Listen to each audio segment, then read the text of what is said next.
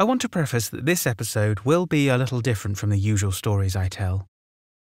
Recently, I have been dealing with the grief of having to have said goodbye to our beloved dog, Joni.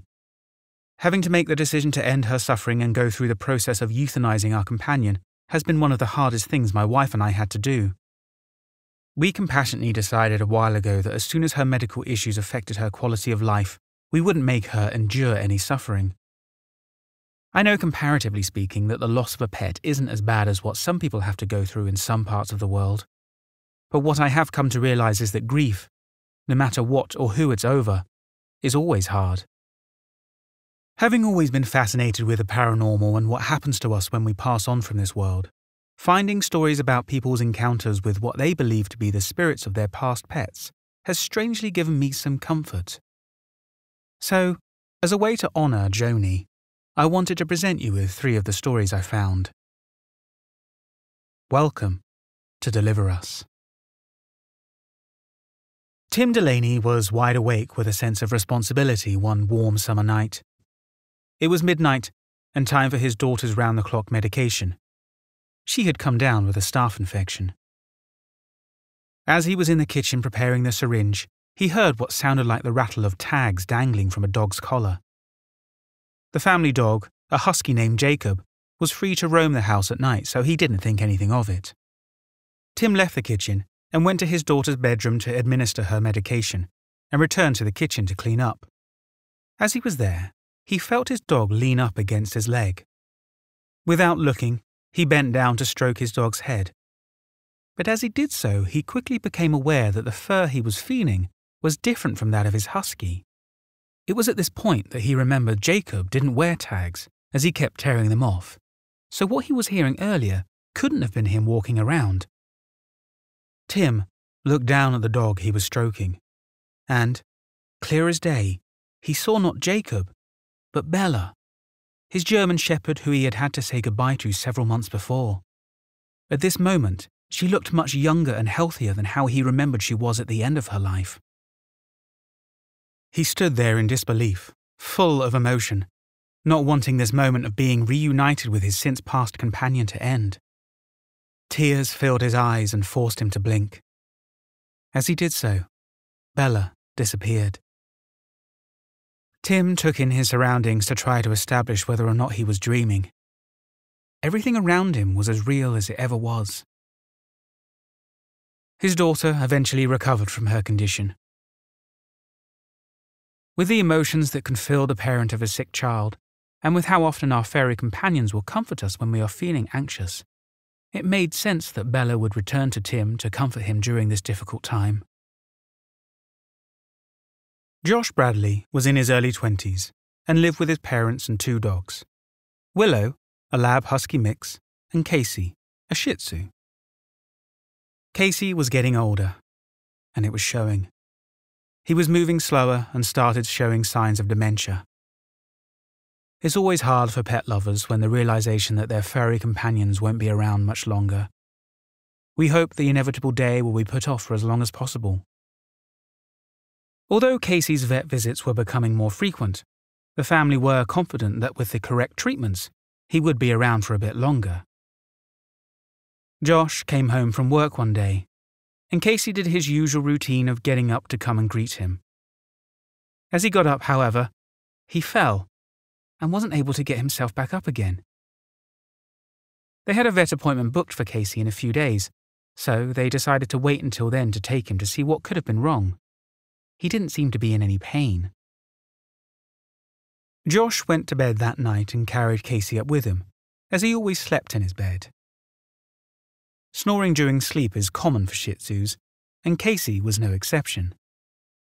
The sound of Casey's snoring was always a comfort to Josh and helped him sleep at night.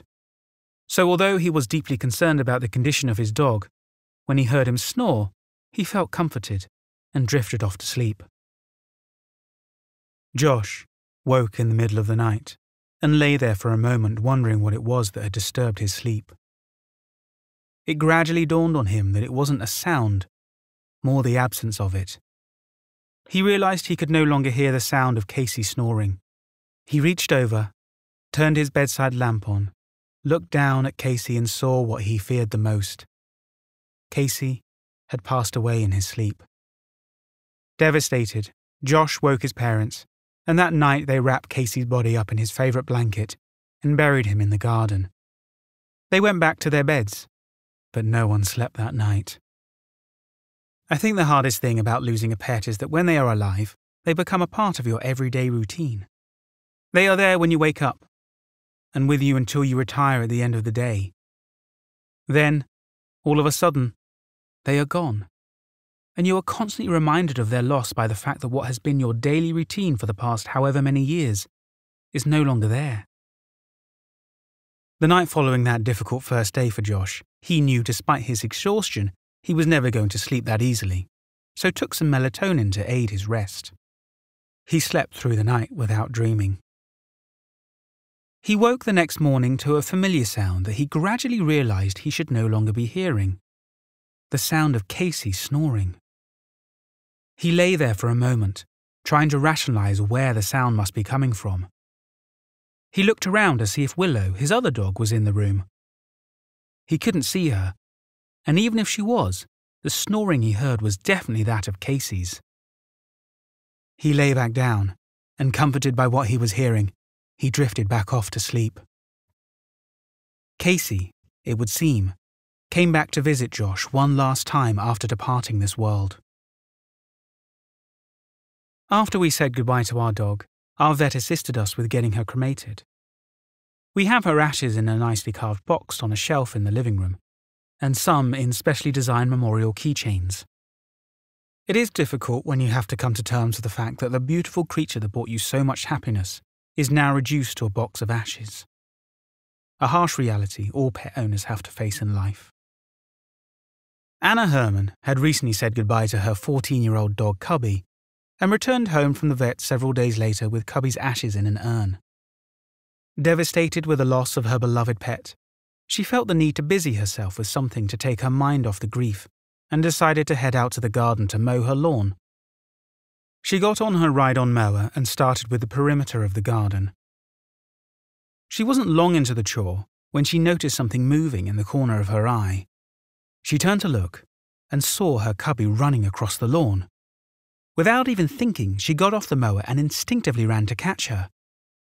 When she was alive, Cubby had a tendency to run off when she saw someone in the garden. Before she started to run for the dog, it dawned on her that it couldn't have been Cubby, and at some point what she was seeing was no longer there. Cubby was slower in her old age, so she would never have been able to move at the speed she saw her running. It then dawned on her that the dog she saw looked like Cubby when she was younger. Anna considered herself agnostic and a non believer in the idea of ghosts, but with how vividly she saw Cubby, it has made her seriously consider the possibilities of what is beyond this life.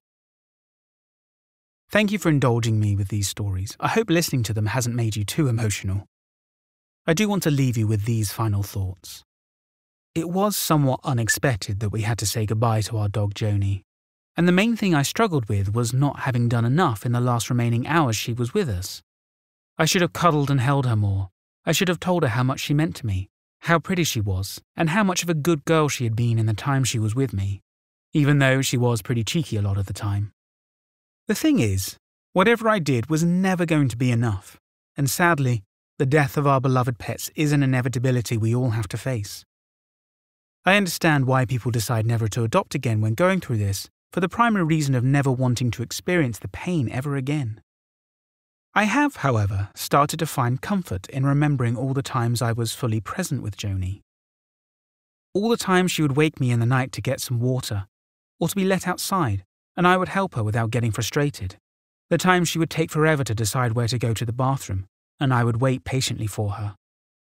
More recently, the times I would not be able to sleep at night due to some form of anxiety, and I would lie there comforted by the fact that she was laying next to me, and we were spending that particular moment together. My journey with mindfulness these past few years hasn't miraculously changed my life, but it has made me more of a patient and present person, attributes that come naturally to animals. I am finding comfort in realizing that in the years she was a part of my life, I did cherish every moment I had with her, and I gave her the best life she could have had. Life is hard, and the people and animals we connect with to make it easier are gifts we need to be grateful for. My intent with this episode was not to make you emotional, but to urge you to be present, patient, and grateful for all the moments you have with those you love, as one day, as we all know, it will end. On a lighter note, my wife and I did decide that one of the best ways to honour Joni's life was to rescue two new dogs. With the amount of love we have to give to dogs, it wouldn't be fair leaving our home empty when we could save the lives of two of these wonderful creatures that have sadly been abandoned by their previous owners. Our lives have changed considerably, as we have gone from a mostly calm Yorkie to a rambunctious Plott Hound and Border Collie mix, but they are filling our lives with a ton of joy. You can follow these two puppies and their antics on Instagram at rescue.sisters. Thank you for listening to this episode. I shall be back soon with more of my usual content.